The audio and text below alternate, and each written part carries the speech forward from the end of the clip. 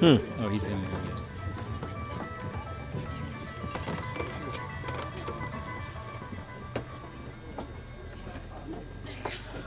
Well.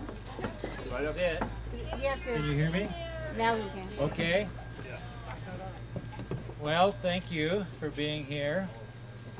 Um, I think the definition of a successful life is many special moments, and this is a really special moment.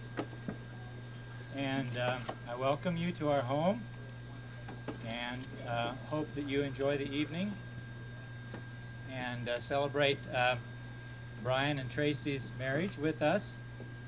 Uh, they put together a, a show for us as well as uh, for you, and I think the evening will be a special one. I want to welcome um, Tracy's family and Tracy into our family circle.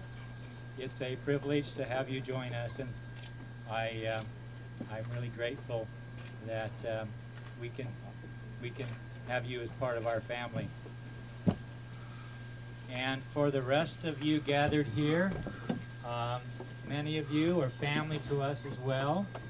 We go back decades. I hate to admit that in some ways, but uh, it's the truth.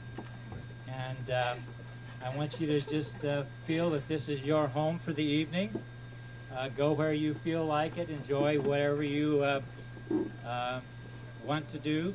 Do uh, and be down with the music or up here is fine. And uh, my final words is, it's Miller time.